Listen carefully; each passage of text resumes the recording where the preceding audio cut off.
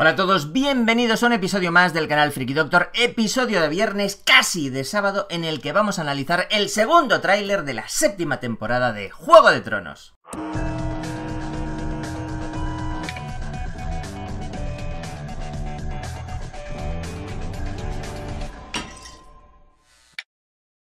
Sí amigos, estaba yo tan tranquilo en Tokio, Japón, a punto de acostarme, cuando de repente empiezan a llegarme por tierra, mar y aire mensajes por Twitter, por Instagram, por email, diciendo ya ha salido el segundo tráiler de la séptima temporada de Juego de Tronos.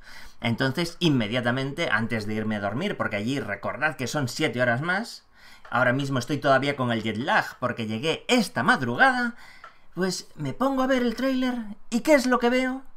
Pues que una vez más las filtraciones, los spoilers de Away for the Lads se cumplen palabra por palabra. Por tanto, vamos a hacer un análisis del tráiler, pero esto está lleno de spoilers que van a ser verdad. Todo lo que os voy a contar aquí va a suceder en verdad. Por tanto, ya sabéis, si no queréis saber, es vuestra oportunidad de abandonar este vídeo. Como sabéis, mi estilo de analizar trailers es diferente al que se ve en otros canales. Yo lo que he hecho es dividir el tráiler en distintos segmentos, los he agrupado de forma que todo tenga coherencia. En esta ocasión notaréis que los fragmentos no tienen audio porque como siempre los pongo ralentizados, el audio no aporta gran cosa y además así me evito problemas de copyright. Entonces veréis los distintos fragmentos ordenados por tramas y empecemos por la primera trama, no en el orden del tráiler, sino en el orden que creo yo que tiene más sentido comentarlo. En primer lugar vamos a hablar de la batalla más importante de esta temporada en Juego de Tronos, esa batalla que se rodó en los Barruecos, en España, en Extremadura, y que enfrenta a los soldados Lannister contra las fuerzas combinadas de Daenerys Targaryen, que constan de los Dothraki, de los Inmaculados, y de Drogon. Vamos a ver cómo queda todo montado, todo seguido.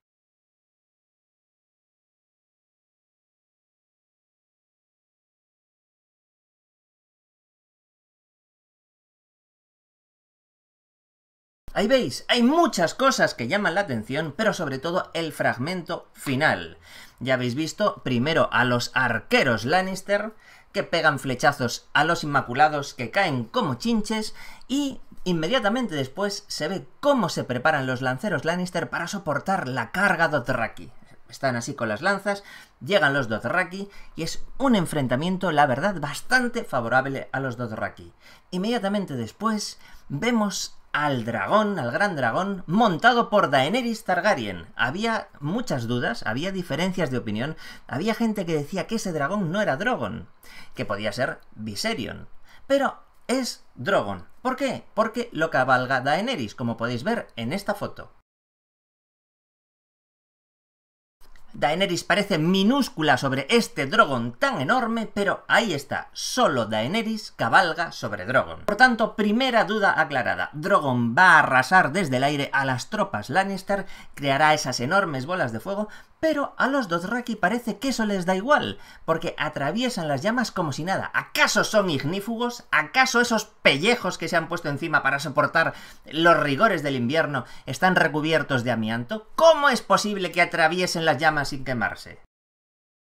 Curioso, ¿verdad? Parece que demuestran altísima resistencia a las altas temperaturas, con lo que creo que en la playa no les hará falta protector solar, porque si atraviesan las llamas, los rayos del sol no harán mella sobre ellos. Pero la escena más interesante de todas es la escena final, la escena de la cabalgada de Jamie Lannister. ¿Qué destaca de esta escena? Bueno, pues que cabalgando después de Jamie, aunque no se ve en el tráiler, va Bron. Y eso lo pudimos ver en la promo de HBO España, en esa promo que se hizo en un acto en la calle, en Callao, en la plaza de Callao, con fans que entraron para ver nuevas escenas de la séptima temporada. Esta foto demuestra que detrás de Jamie va Bron. Y Jamie va armado con una lanza, lleva una lanza en ristre. ¿Qué quiere hacer con esa lanza? ¿Dónde va tan deprisa?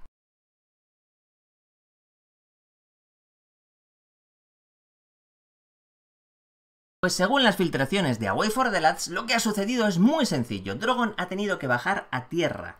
Daenerys ha tenido que bajarse de Drogon. ¿Por qué? Porque Drogon ha sido herido. No se especifica muy bien cómo, posiblemente por esa ballesta gigante invento de Kiburn diseñada para matar dragones. El caso es que cuando Jamie ve que Daenerys está en tierra, carga sobre ella intentando matarla. Pero claro, en el último momento, Drogon que está allí gira la cabeza y se dispone a matar a Jamie de una llamarada. ¿Y qué es lo que sucede en ese momento? Pues que Bron, que iba cabalgando detrás de Jamie, se abalanza sobre él y los dos caen al agua. En esta escena. Por eso, como habéis podido ver en este tráiler, Jamie cabalga paralelo al agua. Y me preguntaréis, ¿pero esto va a suceder seguro? Y yo os digo, sí, seguro. Ya sé que todavía hay gente incrédula, todavía hay gente que no me cree, pero bueno, ya llegará su momento para confirmar todas las teorías y todas las historias. Vamos ahora con Bran Stark. Bran tiene dos escenas en este tráiler. La primera en la que se levanta la puerta del muro y Bran cruza al otro lado y se le puede ver muy pequeñito en esa especie de trineo que va siendo arrastrado por Mera Reed.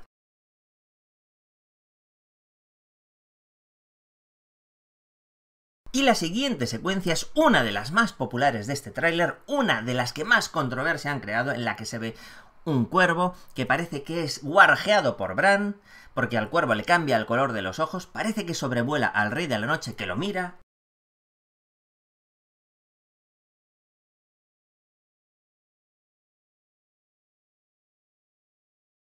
y en ese momento vuelve el plano a Bran que parece que interrumpe su trance. Vamos a ver, vamos a ver, aquí hay mucho que explicar porque a lo mejor esas imágenes las han montado así para que creamos que eso es lo que está sucediendo.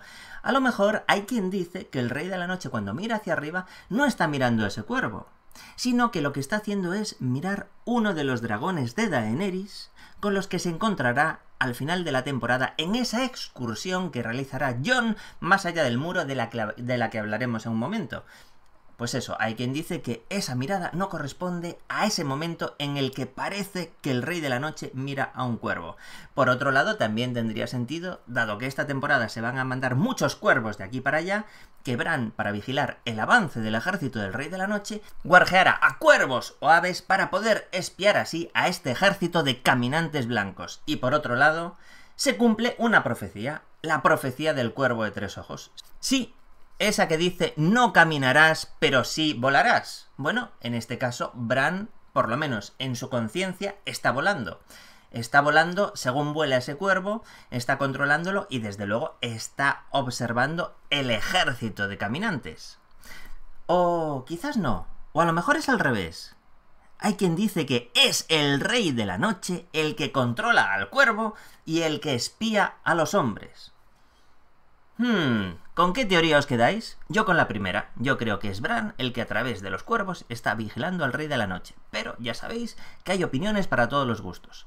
Por otro lado, ¿hay algún otro detalle? Sí, la silla de ruedas súper chula que lleva Bran y ese individuo que está a su lado. ¿Quién es? Pues ese individuo no es otro que el maestre Volcan. Haced memoria, es un individuo sonriente, regordete, algo calvo y un poco timorato que ya estuvo al servicio de los Bolton en la sexta temporada. Es este actor. Y ahora vamos con la gente de Desembarco del Rey. Empecemos por la reina Cersei.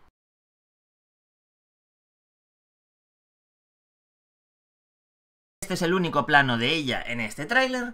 ¿Y qué es lo que está haciendo? Bueno, pues todo apunta a que está en los sótanos de la Fortaleza Roja. ¿Y qué es lo que sucede con Cersei en los sótanos de la Fortaleza Roja esta temporada de acuerdo con Away for the Lads? Pues muy sencillo, en los sótanos de la Fortaleza Roja hay calaveras de dragón, calaveras gigantescas de dragón, y si hacéis memoria podréis recordar que Arya ya encontró una en la primera temporada. ¿Y qué va a suceder ahí? Pues que Kiburn va a enseñar a Cersei esa arma que ha construido para destruir cráneos de dragones. Cersei se acercará al arma, le dará al interruptor, a la palanca o a lo que sea, la disparará y una cabeza de dragón gigante será hecha a pedazos por esa especie de venablo o flecha enorme que la destruirá haciéndola pedacitos. En Desembarco del Rey también podemos ver bastante ajetreo en una calle. ¿Y ese ajetreo por qué? Muy sencillo, no es un holgorio cualquiera, sino que es un desfile de la victoria. Euron Greyjoy lleva a sus prisioneras, esas prisioneras que son Yara, Elaria y Nimeria Arena.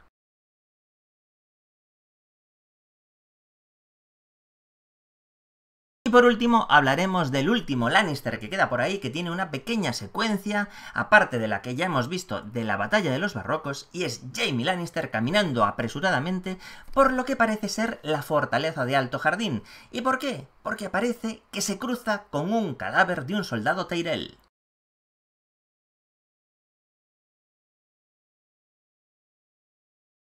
Vamos ahora a hablar de los Inmaculados y del asalto a Roca Casterly. No olvidemos que es un asalto planeado por Tyrion Lannister. Ese asalto, además, está muy bien reflejado.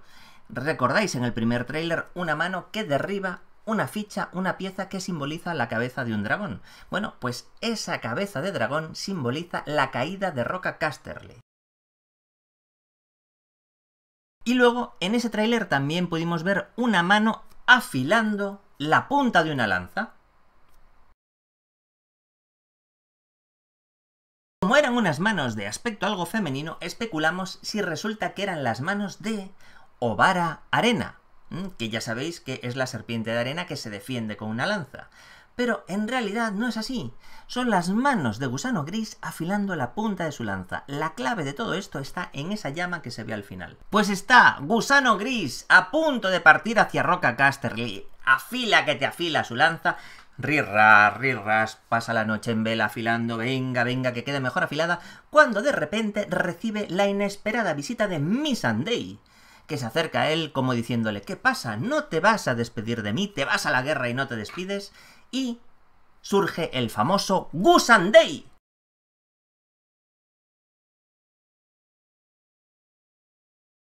Y ya tuvimos en el tráiler anterior la polémica sobre si Gusano Gris tiene gusano o no, porque muchos me habéis escrito, es que en los libros dice que a los Inmaculados se le corta el pene y los testículos. De nuevo os digo, eso en los libros. En la serie Gusano Gris conserva su pene. Y ya no lo diré más, ya no diré más que conserva su pene, ya lo veréis vosotros mismos en una charla que va a tener Missandei con Daenerys contándole precisamente cómo fue ese encuentro y en esa charla Missandei le dirá a Daenerys que Gusano Gris conserva su pilar, porque de forma figurada llaman así al miembro viril masculino, el pilar. Lo veréis, lo veréis con vuestros ojitos. Y los que no me creéis diréis, vaya por Dios, mira que tener razón sobre eso. Pues no, no es mérito mío. ¿De quién es? Ya lo sabéis, de Away for the Lads. Pues después del Gusan Day podemos ver cuál es el plan de Tyrion Lannister, un plan muy bien diseñado. Entrar por la entrada secreta que tiene Roca Casterly. Aquí veis la entrada al final.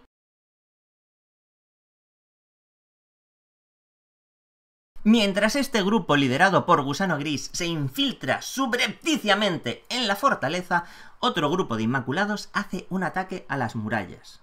De forma que todos los defensores, todos los soldados Lannister que están allí, van a intentar defender la muralla. Esa foto corresponde, como no, a las imágenes liberadas por HBO España en su último acto promocional sobre esta nueva temporada. Entonces, resumiendo, mientras unos defienden la muralla, otros se cuelan dentro, al final logran abrir las puertas...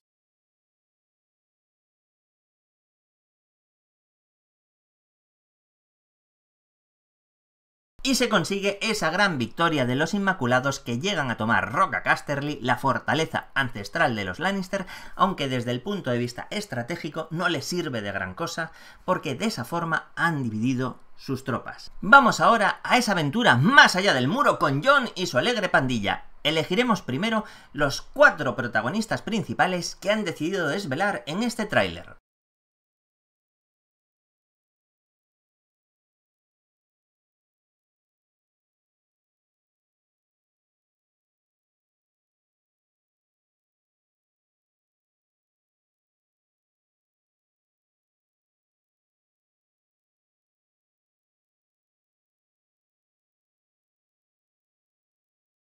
John el Perro, Tormund y Beric, Beric Dondarrion. Si tuviera la melodía del equipo A la pondría... Chan, chan, chan, chan, chan, chan. Ahí están los cuatro, pero sin duda, la imagen más impactante de estas que os acabo de poner es la imagen de Beric con su espada en llamas. Pero, ¿es la primera vez que vemos a Beric con una espada en llamas? La respuesta es no. En la tercera temporada, precisamente en el enfrentamiento a espada que tuvo Beric con el perro, Beric ya encendió su espada. Aunque en la tercera temporada, para encenderla, hacía una especie de maniobra así. Y ahora la espada la enciende como un mechero. ¡Clac! Y sale fuego. Muchos dicen, ya está, Beric es Azor Ahai.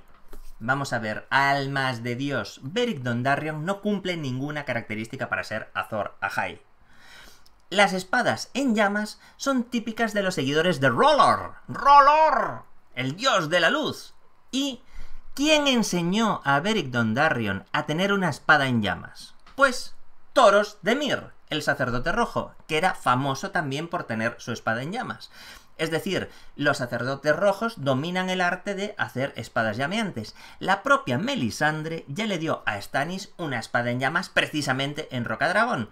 Y además, las espadas en llamas, si lo, pensáis, son el arma perfecta para hacer frente al ejército de caminantes, sobre todo por los espectros, porque los espectros son sumamente inflamables, arden como la yesca, y si tienes una espada en llamas, puedes cargarte muchos espectros. Por tanto, tiene todo el sentido que los seguidores de Rollor, que ya saben lo que va a pasar con los seguidores del otro, del gran otro, es decir, de el dios contrario al dios de la luz, pues eso, usan sus espadas llameantes, que son un gran arma si quieres enfrentarte a los espectros. Por tanto, no le deis más vueltas, no tiene sentido. Beric Dondarrion no es Azor Ahai. Y muchos diréis, bien, pero en ese tráiler solo hemos visto una espada llameante, y sabemos que en esa excursión más allá del muro también va Toros de Mir. ¿Dónde está Toros de Mir? Bueno, pues lo creáis o no, Toros de Mir no llega tan lejos porque por el camino se lo come un oso zombie. Un oso espectro. Por eso solo veis a Beric. Y ahora pondremos en orden el resto de las secuencias a ver qué os parece ese resumen que he hecho de la aventura de John más allá del muro.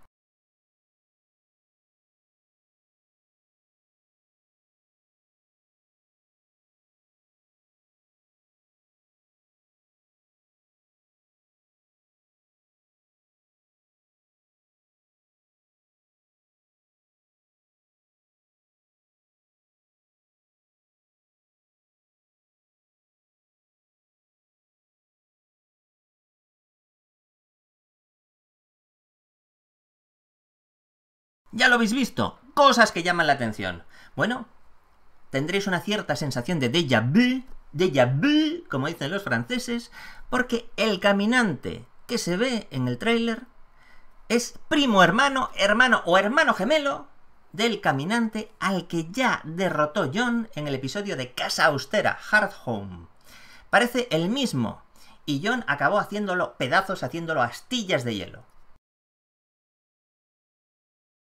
Ahí lo veis, el caminante melenillas lo usan para todas las temporadas, es una cosa recurrente, no sé por qué siempre matan al mismo, no sé, es como tener una pelea en la calle en China, te da la sensación de que siempre le pegas al mismo, pues eso mismo pasa en Juego de Tronos con Jon y con los caminantes. Pues eso, que parece que siempre pegan al mismo.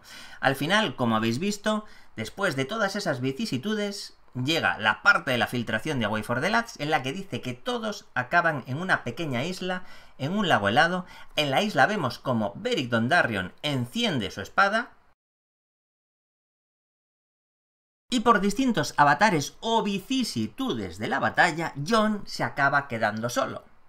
El caso es que Daenerys acude al rescate con los dragones. Uno de los dragones, ya sabéis, Viserion, cae muerto y luego es resucitado por el Rey de la Noche. Y sabemos que Daenerys ha estado allí con los dragones porque en medio de ese paisaje helado hay un montón de llamas que no han sido causadas por esa espada en llamas de Beric, sino por algo mucho más grande.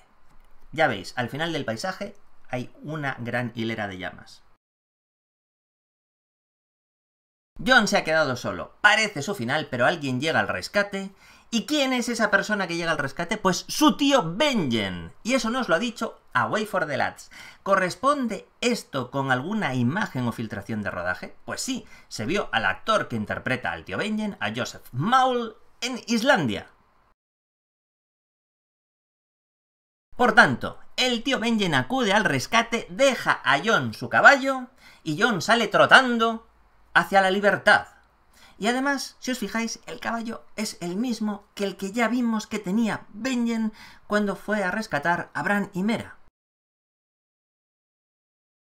Y toca hablar de Euron Greyjoy, toca hablar de esa batalla naval que se va a desarrollar en el capítulo 2 de esta temporada. Recordemos que es un enfrentamiento entre la enorme flota de Euron y esa flota que está en puerto, esa flota mixta con los barcos que se llevaron Yara y Zion y los barcos dornienses. Por tanto, tenemos a Yara y Zion con las serpientes de arena que están todas juntas. Las secuencias se desarrollan así.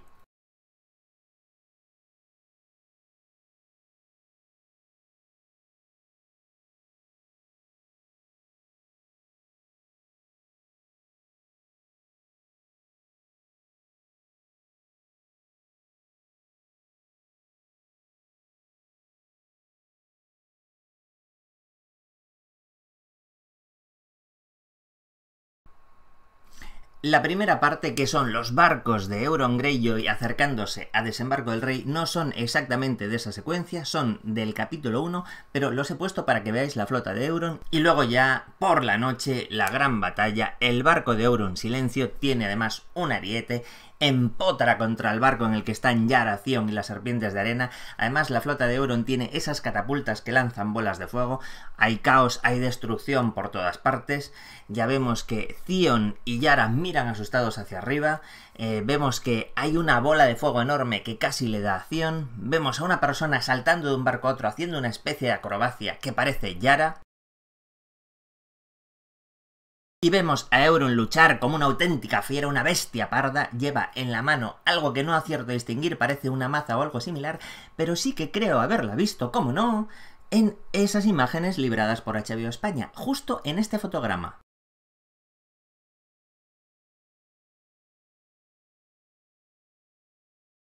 El caso es que durante esa batalla Euron mata a dos de las serpientes de arena, mata a Obara y a Nimeria, y captura a Yara y sus hombres capturan a Elaria.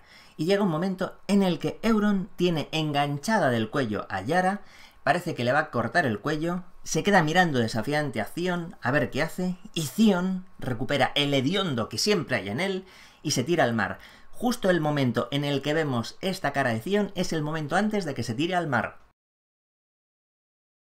como final de todo ese asunto es la secuencia final que os he dejado en este montaje. La llegada de Zion a Rocadragón y acaba de rodillas en la arena y luego tiene esa charla cara a cara con John que le dice que no le mata porque en su momento ayudó a Sansa. Interesante, ¿verdad?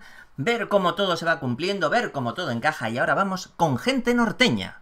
Empecemos por Sansa Stark. Sansa tiene cara muy compungida y se va dando un paseíto por el bosque de los dioses de Invernalia. De fondo se oye la voz de Meñique diciéndole que tiene que luchar todas las batallas, incluidas las de su mente.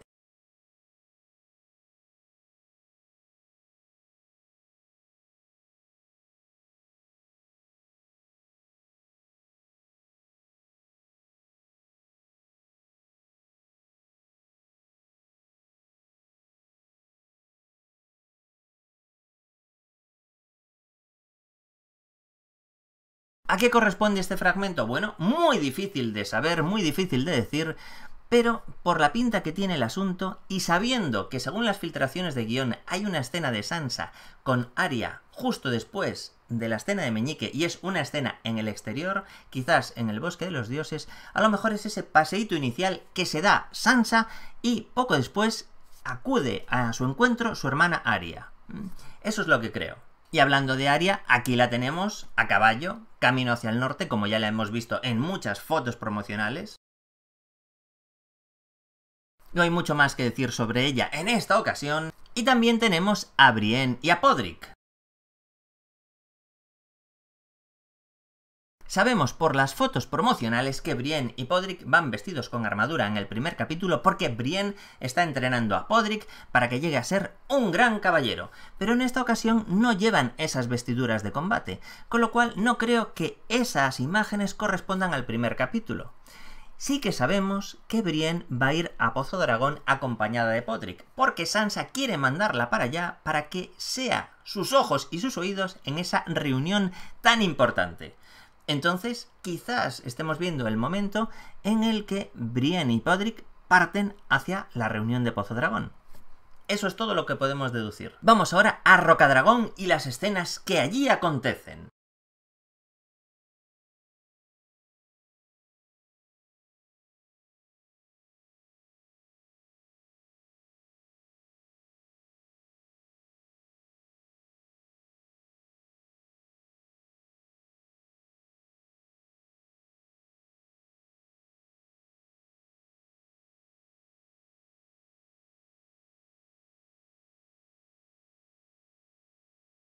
Bueno, ya habéis visto a Daenerys en ese paseito por la playa cuando llegan a Roca Dragón. Aquello está hecho unos zorros, aquello parece un corral, nadie lo ha cuidado, está todo manga por hombro, y dentro se encuentra ese viejo estandarte de Stannis, ese corazón en llamas, que tiene dentro ese ciervo o ese venado emblema de la Casa Baratheon. Y como no, nada más verlo, lo tira, porque ella es ahora la que manda allí. Luego Después acaricia esa vieja mesa de guerra de Aegon el Conquistador. Los dragones vuelan por allí. Tyrion los contempla, además hay otro plano de Tyrion con cara preocupada que no sabía muy bien dónde encajar, porque Tyrion esta temporada tiene muchas preocupaciones, pero el caso es que mientras, mientras los dragones vuelan, se oye la voz de Jon diciendo durante siglos nuestras familias lucharon juntas contra una amenaza común y todo el mundo se pregunta, bueno, ¿y qué quiere decir John con eso? ¿Cuál es la amenaza común? Evidentemente la amenaza común es la amenaza de los caminantes blancos y se refiere a que todos los hombres se unieron para luchar contra la amenaza de los caminantes hace 8000 años. Y todo eso creo que se lo dice a Daenerys cuando están los dos juntos en las cuevas de Rocadragón que están llenas de vidriagón. Es decir, ya sabéis que Rocadragón tiene unos depósitos de vidriagón enormes.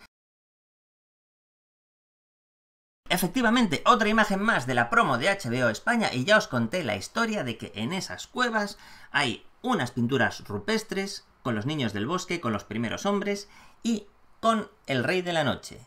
Entonces ahí John le cuenta toda esta historia de esa amenaza que están sufriendo, por eso creo que esta voz en off corresponde a ese momento, y le pide a Daenerys que le ayude, y Daenerys dice que vale, que le cree, pero que tiene que doblar la rodilla.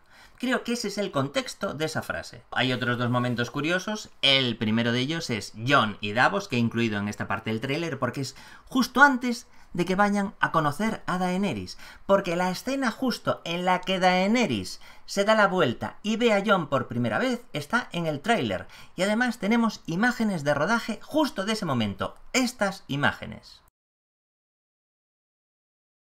Por tanto, es un momento conocido. Está así Daenerys tan tranquila y gira la cabeza y mira y dice... ¡Ah! ¡Qué rudo y atractivo norteño! Bueno, no lo dice, pero podría ser que lo dijera por esa carita de pilla que pone. Y ya, por último, relativo a todo esto que sucede en Pozo Dragón, quiero que veáis de nuevo esta escena.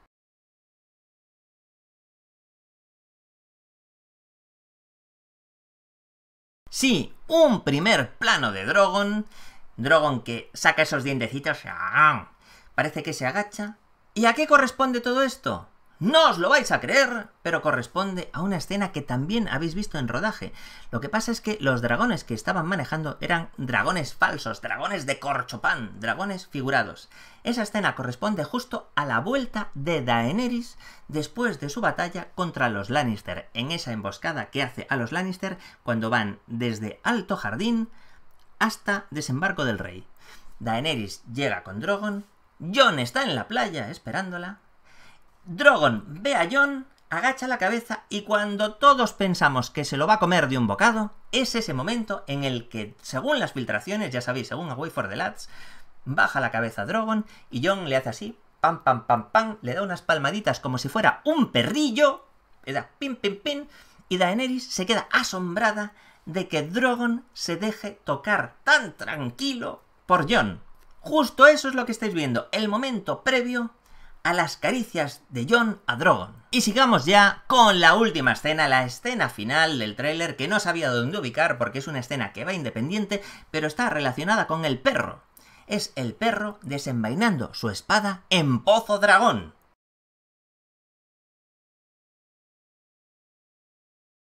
¿Y por qué el perro haría tal cosa? Que levante la mano en su casa el que lo sepa. A ver, a ver. Mira, por ahí hay uno que dice que es porque va a luchar contra su hermano la montaña, que va a haber Clegane Bowl, que se van a pelear los dos hermanos. Pues no, si has levantado la mano pensando eso, te has equivocado por completo. Sin embargo, si eres de los más fieles, ya lo sabes. ¿Qué es lo que sucede ahí? Cuando el perro saca la espada es porque han abierto la caja y dentro está el espectro. El espectro se acerca al perro, el perro le da mandoble tras mandoble, pim pam, pim pam, y el espectro sigue atacando, a pesar de recibir todos los mandobles del mundo, ante la atónita mirada de Cersei, que dice, Dios mío, esta historia que me han contado es real. Bueno, ahí lo tenéis. El perro desenvainando su espada para asestar mandobles al espectro capturado más allá del muro. Y ya para acabar, antes de que se me olvide, quizás os lo tenía que haber dicho antes, hay una frase que suena al final del tráiler justo cuando John está solo y coge ese caballo, el caballo de Benjen, y escapa, una frase dicha por Sansa. Y es una frase que en su momento Ned le dice a Arya, es una frase de los libros y es una frase relativa al invierno y a los lobos. Cuando cae la nieve y sopla el viento blanco, el lobo solitario muere, pero la manada sobrevive. Ese es el final. ¿Y qué simboliza esta frase? ¿Y qué simboliza esta frase? ¿Y por qué la dice Sansa precisamente? Bueno, evidentemente los lobos son los Stark, y se refiere a los conflictos que van a tener todos los Stark esta temporada. Ya sabéis que meñique mete cizaña entre Arya y Sansa, que tienen sus tremendas discusiones, aunque al final hacen las paces, y luego están también las discusiones entre Jon y Sansa, discusiones que veremos sobre todo en el primer y el segundo capítulo de esta temporada. Por tanto, los lobos tienen que ir siempre en manada para poder sobrevivir. Si los lobos discuten, si los lobos se separan, si cada uno va por su lado, no pueden acabar bien, pueden acabar muriendo. Y a eso se refiere temporada de tensiones entre los hermanos. ¿eh? En esta ocasión ya sabéis que John todavía se piensa que es hermanastro de Sansa, todavía no sabe que es Targaryen, etcétera, etcétera. Por eso hablo de los hermanos en estos términos. ¿eh? Más adelante se descubrirá que no, que no son hermanos, y con más adelante me refiero a la octava temporada, porque en la séptima temporada John en ningún momento llega a conocer su origen, pero bueno, todo eso queda más adelante, todo eso está por ver y este es el análisis del segundo tráiler de la séptima temporada de Juego de Tronos. Espero que os haya gustado, está lleno de spoilers, de información, está lleno de flashbacks, de recuerdos. Y ya sabéis, si os ha gustado, dadle a like, no olvidéis suscribiros al canal, me hacéis mucho bien si os suscribís. Y si conocéis a alguien a quien le gusten los spoilers y que pueda disfrutar de este vídeo, no olvidéis compartirlo. ¿Por qué? Porque compartir es vivir. Y si queréis camisetitas chulas, camisetitas con spoilers como esta, que contiene el verdadero nombre de John, ya lo sabéis. Si queréis camisetitas chulas, en mi tienda latostadora.com barra frikidoctor hay muchas distintas y todas relacionadas con Juego de Tronos y una de ellas con un super spoiler que se verá en el séptimo capítulo de esta temporada. Además de esta, claro. Hmm, camisetas con spoilers.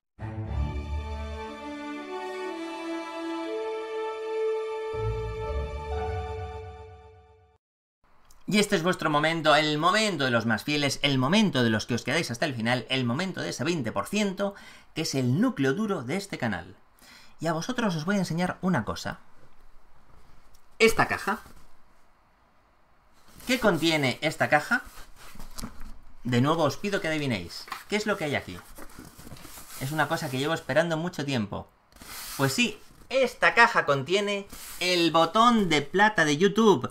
El botón de los 100.000 seguidores. Por fin me ha llegado. Aquí está. Y, como siempre os digo, el mérito es absolutamente vuestro, que sois los que me seguís. Sin vosotros no me hubiera llegado este botón. Y diréis, ¿y no lo vas a abrir? Bueno, llevo guardándolo, llevo guardándolo todos estos días porque voy a hacer un unboxing real. Ya sabéis, no un unboxing fingido, esta caja está absolutamente cerrada. ¿eh? Voy a hacer un unboxing real para todos vosotros.